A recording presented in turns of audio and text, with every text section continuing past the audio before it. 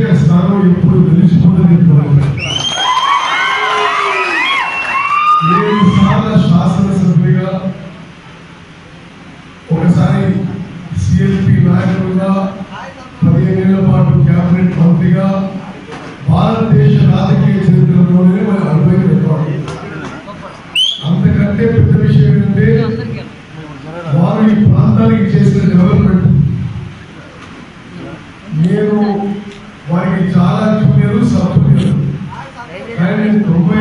నుంచి రాజకీయాలు చిన్నపడుతుంది జానారెడ్డి గారు గతంలో చిన్నకుర్తికి ఎంత డెవలప్మెంట్ చేసిండు. నాగార్జున సారే కోఆర్డినేట్ చేసిండు.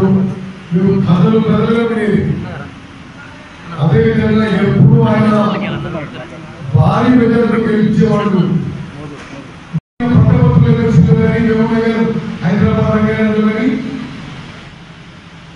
టిఆర్ఎస్ పార్టీ పెద్ద సంఖ్యలో ఓడిపోయింది ఎప్పుడు పేపర్ రాజు పెడితే టీఆర్ఎస్ పార్టీ ఓడిపోతుంది. ఈవీఎం విషయంలో వస్తే ఒక సీట్ ఎమ్మెల్యే ప్రదేశం కదా పదేళ్ళ పదహారులో సగం గెలుస్తూ అనుకుందాం. ఒక మాటకి. పదహారులో సగం ఎంపీస్తోని ఐదు వందల నలభై రెండు ఎంపీలు శాసిస్తారు సాధ్యమంటున్నారు ఎందుకు ఈ పూజల మాటలు ఈ డ్రామాలు చెప్పి నేను ఒకటే విషయం వేస్తే ఇంకో విషయం ఆలోచించాను నేను చెప్పిన విషయాన్ని మీరు గ్రామాల్లో మాట్లాడాలి ఇంటింటికి మాట్లాడుకుంటున్నాను పదహారు పదహారు అప్పుడు సారు పదహారు పీరు వీరు మాత్రం అంతేనా?